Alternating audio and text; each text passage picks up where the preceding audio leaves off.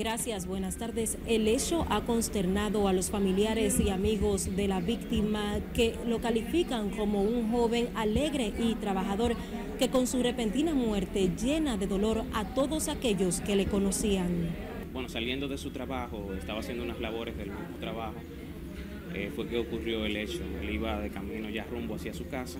Ángelo Rafael Medina Encarnación murió tras recibir un mortal disparo el pasado martes cuando se transportaba en un carro del transporte público en el sector Villafaro, en un hecho que quedó captado en cámara. Él vendía tarjeta en lo colmado, como que tenía dinero la, la mochila. ¿Cree que le estaban dando seguimiento entonces? Sí, parece que le estaban dando seguimiento. Todos vieron el video de, del carro público, lo que pasó simplemente por quitarle la mochila que tenía. Entonces nosotros lo que estamos procurando es que puedan aparecer esos delincuentes y se haga justicia. ¿Apresaron al chofer también? Sí, el chofer está detenido porque según el video hay un, un posible... Se entiende que puede haber una complicidad. No estamos obviamente seguros ni acusando a nadie, pero por lo menos por ahí hay que empezar. Pero lo que yo creo es que eh, lo tenían ubicado, porque que en ninguna cabeza cabe que un chofer de un carro público se va a quedar ahí parado si te ven que te están atracando y te quieren matar. ¿Tú entiendes? Entonces, me da un poco de impotencia y rabia. Mi corazón.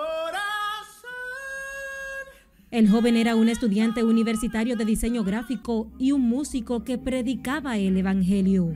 Era un niño honesto, se dedicaba a la iglesia, realmente no merecía esa muerte. Por eso, ya que estoy aquí hoy presente, le hago un llamado al nuestro presidente, señor Luis Abinader, y al jefe de la policía, que realmente debemos de poner mano dura ante esta delincuencia que nos está azotando y prácticamente nos está comiendo vivo. De acuerdo con las versiones del hecho, Ángelo se resistió a que sus verdugos le despojaran de la mochila que cargaba al momento de la tragedia, cuando dos hombres a bordo de una motocicleta se le acercaron por la parte derecha del vehículo donde estaba sentado. Los restos de la víctima son velados este jueves en la funeraria Blandino de la avenida Sabana Larga, en Santo Domingo Este, y serán sepultados mañana en el cementerio Cristo Salvador. La policía afirma que profundiza las investigaciones en torno al hecho.